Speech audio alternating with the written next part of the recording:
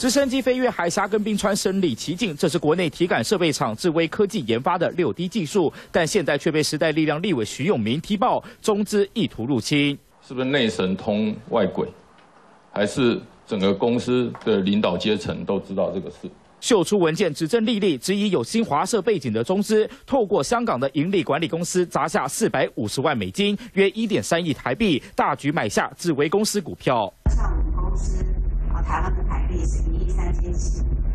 我我我们你只要不要就要开始公告。对，你只要不超过十大股东，不用公告。从这份内部流出的录音档可以听到，智威财务长和可疑中方人士大谈股权交易的内容，铁证如山。我不能承，我不能认，我不能确认这件事情。财务长的工作，他本来是在找投资。不管怎么追问，智威高层都强调不能确认，毕竟违法买进，不止可能会被开罚最高两千五百万罚款，但更大隐忧还有这个。